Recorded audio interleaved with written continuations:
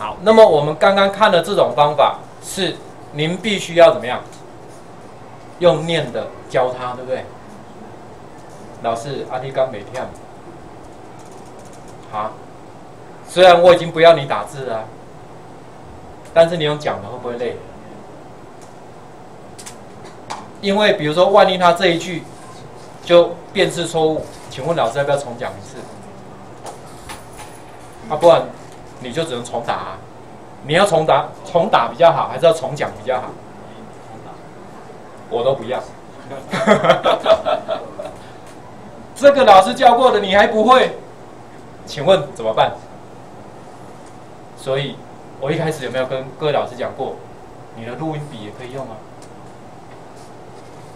我头都都明明讲过啊！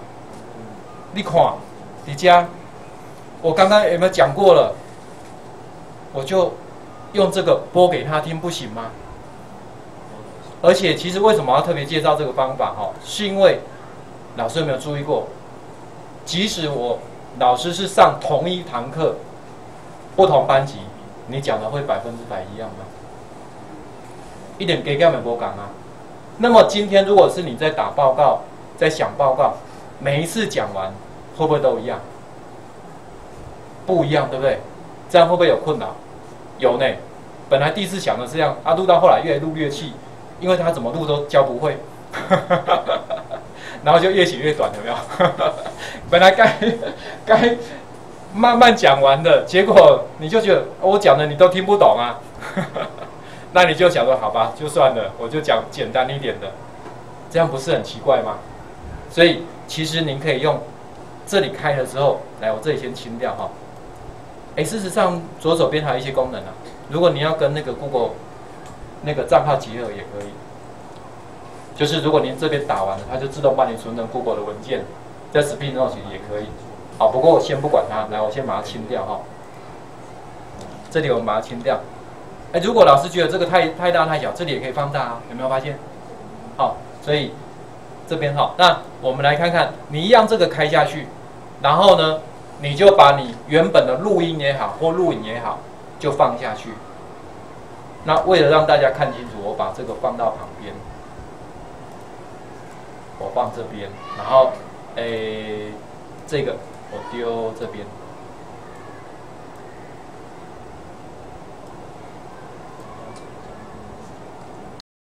我就先把这个打开。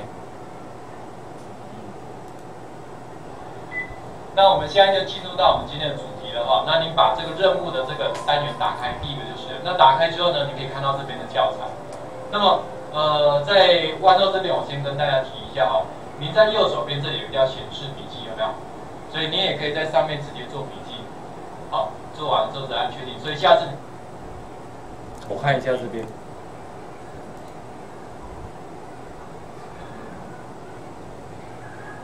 有看到刚刚的内容，对不对？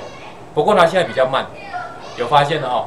那你要效果比较好的话，我会建议老师就是你在播的时候，平常我们如果用音响设备，都有人跟你讲，不要把麦克风直接对什么，对喇叭，对不对？但是这个时候你就是要这样做。电脑的没有关系啦，不是音响设备，反正坏掉再买就有了，没有开玩笑，就是。电脑的没有那么严重了，好，就是说你把你的那个波，就是麦克风，放在喇叭前面，这样子输入效果，因为我们现在距离那个比较远，我用这个网络摄影机这样录的话，那个距离太远，所以效果会比较差。但是你可以发现，就是他还可不可以翻译出来？万一他听不懂怎么办？你不能再播一次吗？你要按一下，还是你要重讲一次？还是要重打一次。事实上，各位老师，您会发现一件事情哦。如果说我第一次翻译有没有？第一次他翻的不是很好，您多放第二次、第三次，他可能会翻的比较接近。嘿，所以这个部分老师可以尝试看看，这样了解。好，所以如果说您另外一个方式就是平常的时候，比如说您可能是在有空闲的时候，您可以用录音笔或手机，你就把你要转换成文字的，就把它录下来。然后呢，回家就播给他听，但是一个原则啦，讲话速度不能太快，不能像机关枪这样，骂学生也要有个程度，呃，开玩笑，就是你讲的速度稍微慢一点点。第二个，讲一段要停一下，讲一段停一下，这样子的话，一来你好分段落，二来怎么样？就是我们在翻译的这个效果会比较好，哦，会比较好。如果说像我刚刚这一段录音，因为是前面是一连串的，我就一直讲下去嘛，对不对？所以效果会比较差。如果是把它切换到就是我刚刚在测试那个语音输入那一块的话，它的辨识度就会比较好。这样你了解了哈？好，那就还给您喽。